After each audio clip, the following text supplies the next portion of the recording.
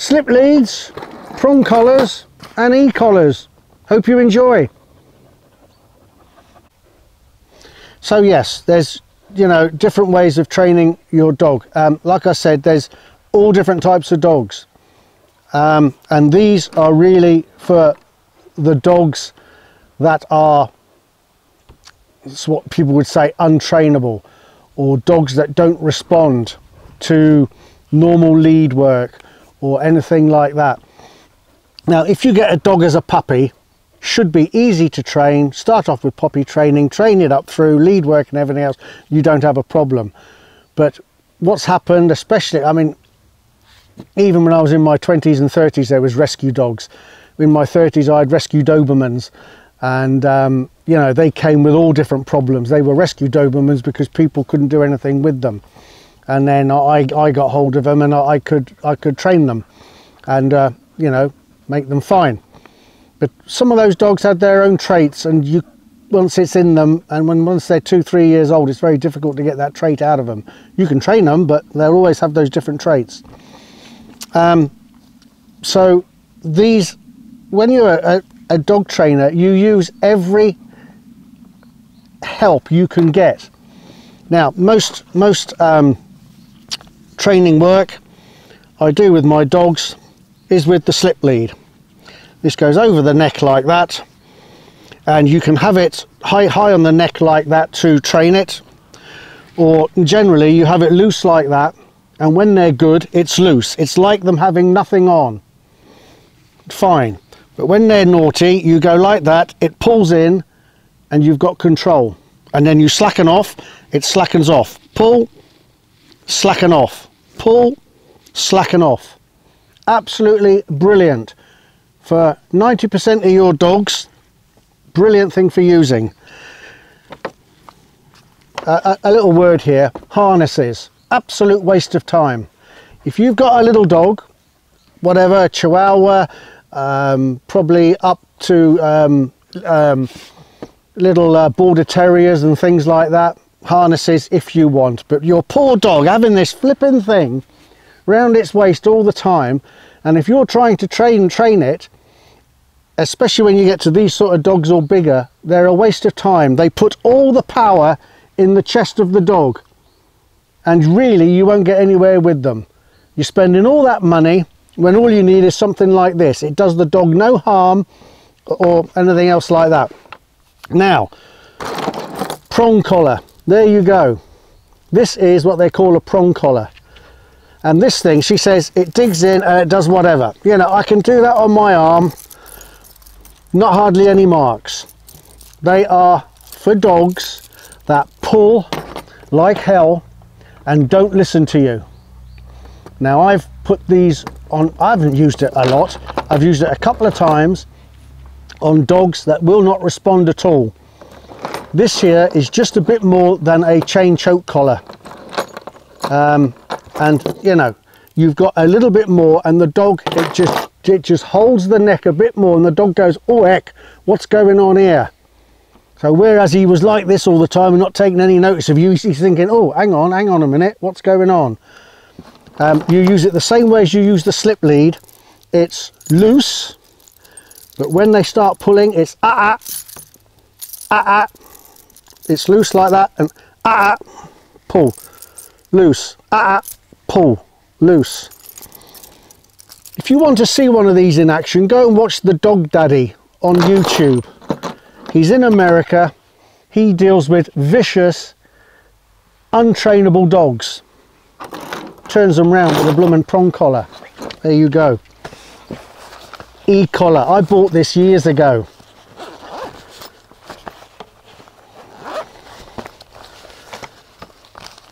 You got um, in this little kit here. You got the collar. You got the actual device that does it. And this is not just an e-collar. Ah, is there any power in it? Yes. So, then you get your handset like this. Aerial in. And then you've on this here you've got settings. I don't know if you can see here. You've got settings. This is select your dog. You can go one or two dogs with this. You can get two collars and run two dogs. Here you have the sound. Hang on it's gone off it's probably low on battery. Uh, I'm just pairing up is it?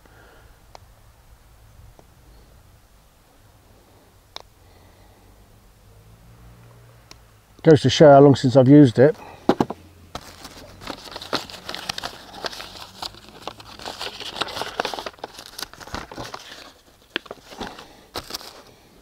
There's no battery in the control in this box.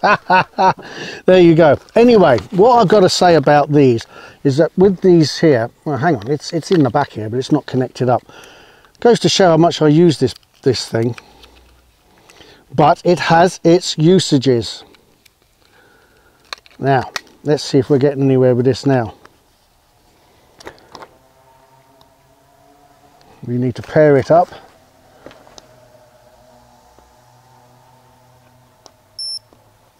So, so this is what happens. What you do, you've got three settings. You've got a buzzer, if you can hear that. The second setting is this. Now that is the same as you know the little joke you used to get them in Christmas crackers, the little joke thing used to go on your finger, you used to wind it up you used to shake someone's hand and it used to go that's exactly the same. I can feel it. It does no harm, it just vibrates. Right, and then you've got the e-collar, which can't feel nothing. Just a little tickle. There you go, little tickle. Three.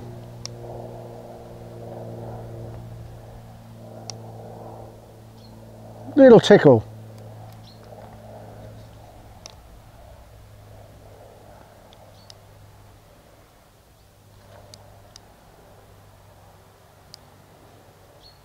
Four.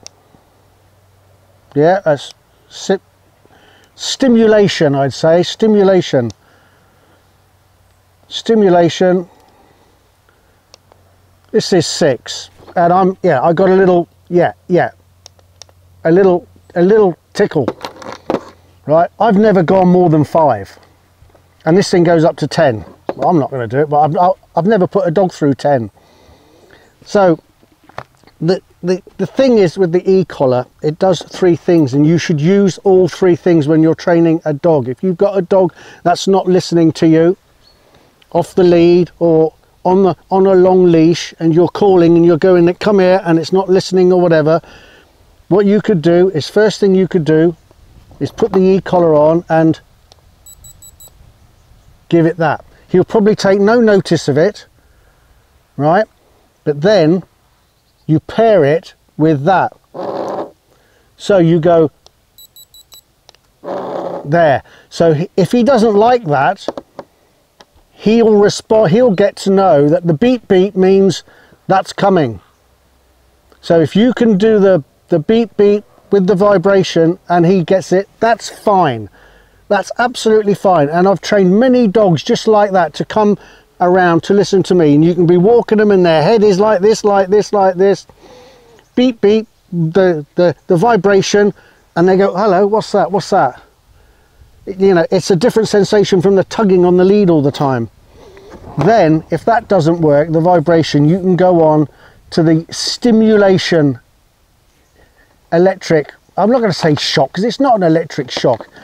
It's a uh, stimulation on them and usually on three they turn around and look and think what's going on? So you stop. So you go along. He does it again. You go beep beep shock. Oh oh i don't like that. And then usually after four times all you got to do is beep beep and he's on you on his and and he's with you. So all these things I've used over the years for certain dogs. I've not used them on my springers. I can do all the training I want off the lead, on a slip lead, no problem at all. So I've that's why these things don't get hardly used. But sometimes some people bring me a certain dog and they said, I've been to all the dog training, I've been to this woman, I've been to this bloke, I've done this, that and the other, and they can't do nothing for me. He's still the same. So I try them on the slip lead, I walk around. Sometimes I can get them with that. Certain training, change of direction, all this sort of carry on, that does work.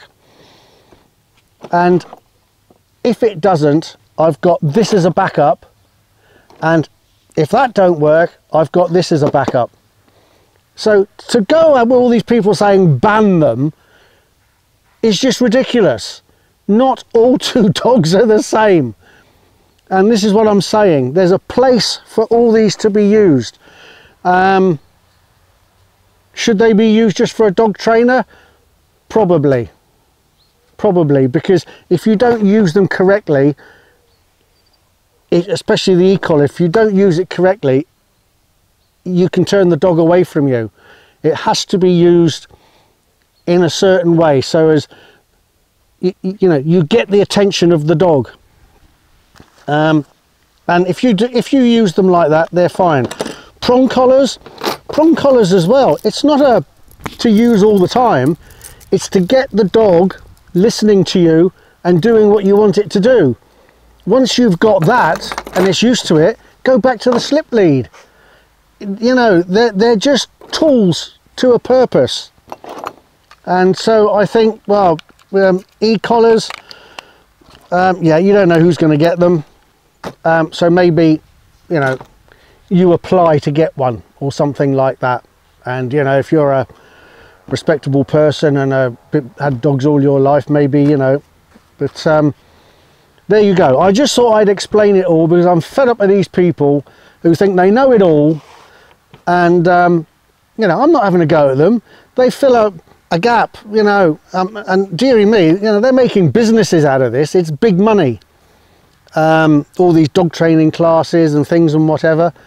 But I'm just saying that don't have a go at me people like me who have to deal with the dogs that you can't train for using certain products to get get to the end with something. So there you go. Uh, it's a bit of a, a, a, variation from my normal videos. Um, but uh, and I haven't really done anything since the game fair um, we, we went to the game fair it was very warm again. Um, I ran Tilly in one of the BS, BASC events. She was doing really well till the last um, trial and it was on a on a large paddock with certain bushes where to pick up and there was one bush and there was one right at the back underneath a, a big tree in the shade. And she wasn't the only one. Couldn't get her to go back to that heap there and pick up that dummy real shame I mean she is nine now but a real shame because she was doing really well up until that point um, and in the other um, crowd there that on the game fair scurries. Um, Reggie did really well. I think he was about a, a, second off third place when we left in the evening. Um, so he did really well. But there are speed machines there that um, shoot up and down and back. And uh, yeah, he's not a speed machine. And one thing I noticed as well is that the judges uh, stopping the stopwatch when the dog comes over the line fine. But sometimes they're counting dogs and the dogs are dropping the dummy. There's no presentation to, to hand, which to me, if doesn't matter what it is, but if it's a scurry connected to gun dog training, there's got to be the collection to hand. Some of these dogs were shooting up, shooting back, got over the line, dropped the dummy, blah, blah, blah, send the dog again, comes back, drops the dummy. Well, to me, that shouldn't be counted, but they were. So come on, you scurry people, you're either going to divert away from dog from a gun dog training into just a game, a speed game. You know, it all has to be one. Go out, come back, yes, get over the line, but if the dog doesn't present the dummy to hand, then the, the run should be void. There you go, that's me having a rant. Okay, folks, um, thanks a lot. I see that we're, we're over 900 subscribers. It would be great to get to a thousand. God blimey. I didn't think I'd even get 10. So um, hope you liked the video. It's just me explaining this madness that's about. Um, and can we just get a level ground and leave everybody alone?